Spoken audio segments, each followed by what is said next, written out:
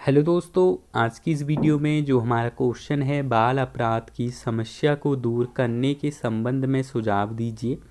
तो दोस्तों, इस क्वेश्चन का मैं आप लोगों को इस वीडियो में आंसर बताने वाला हूँ।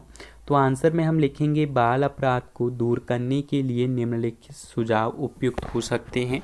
तो हेडिंग डालेंगे फ़र्स्ट शिक्षा और जागरूकता। तो इसमें हम लिखेंगे समाज में बच्चों के साथ सुरक्षित रहने की महत्वपूर्णता को बढ़ावा देने के लिए शिक्षा और जागरूकता को महत्वपूर्ण बनाए रखना चाहिए। फिर नेक्स्ट हेडिंग हो जाएगी हमारी इसमें, समाज संगठन और साथी समूहों का समर्थन। तो इसमें हम लिखेंगे, समाज संगठन और साथी समूहों को बालों की सुरक्षा में सहायक बनाने के लिए सहयोग करना चाहिए। फिर नेक्स्ट हेडिंग हो जाएगी बच्चों के साथ संबंध तो इसमें हम लिखेंगे, बच्चों के साथ सजग रहने के लिए माता पिता और अन्य परिवार के सदस्यों को बच्चों की बातचीत को प्रोत्साहित करना चाहिए।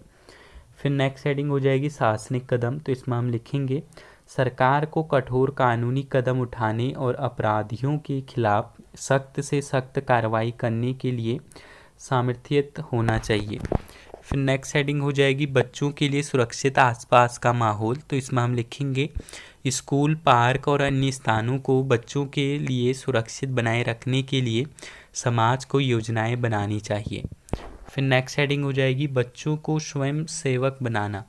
तो इसमें हम लिखेंगे, बच्चों को स्वयं सेवक बनाने के लिए उन्हें सुरक्षित रहने की कला सिखाई जा सकती है और उन्हें अगर किसी स्थिति में सहायक होने का आत्मविश्वास मिल सकता है।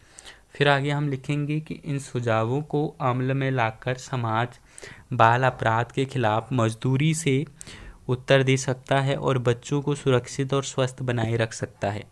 तो दोस्तों, ये है इस क्वेश्चन का आंसर अगर आप लोगों को ये वीडियो हेल्पफुल लगी हो तो वीडियो को लाइक और चैनल को सब्सक्राइब कर लीजिएगा। तो चलिए दोस्तों, मिलते हैं आपको हमारे नेक्स्ट वीडियो में। तब तक के लिए bye bye and have a good day